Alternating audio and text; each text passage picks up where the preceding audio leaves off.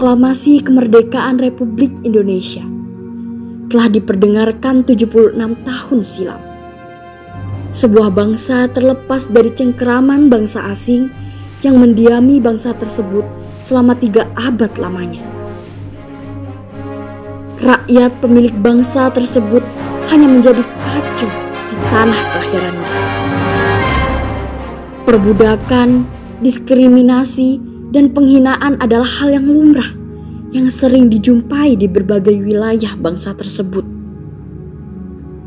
Kemudian, para penjajah mencetuskan sebuah program besar yang diperuntukkan bagi seluruh pribumi.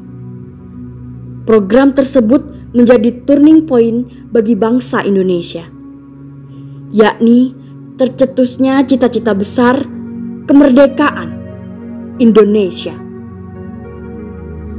Proklamasi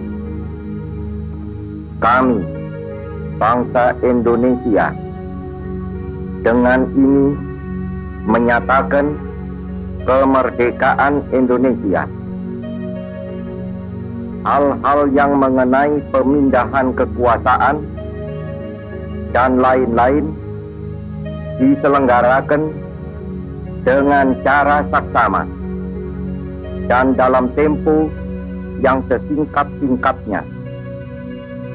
Jakarta 17 Agustus 1945 atas nama bangsa Indonesia Soekarno Hatta Wabah COVID-19 di Indonesia masih jauh dari melandai. Jumlah kasus baru COVID-19 kembali pecah rekor. Ada 8.369 kasus baru yang tercatat, dan itu menjadi rekor tertinggi penambahan kasus baru selama wabah corona dinyatakan masuk Indonesia Maret lalu.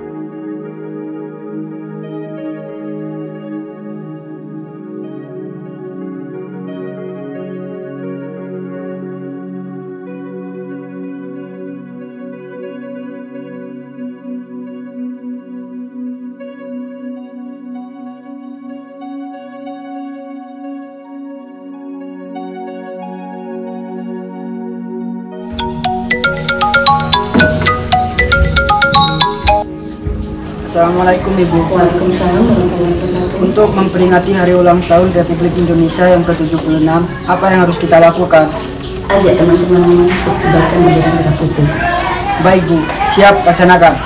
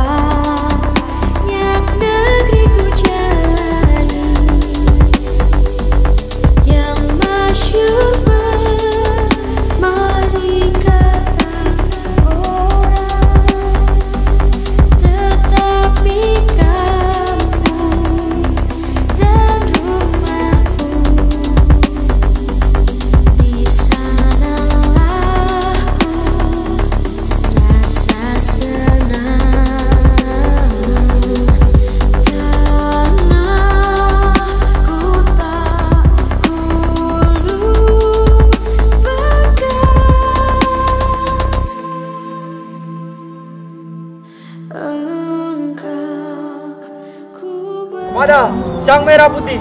Hormat. Gerak.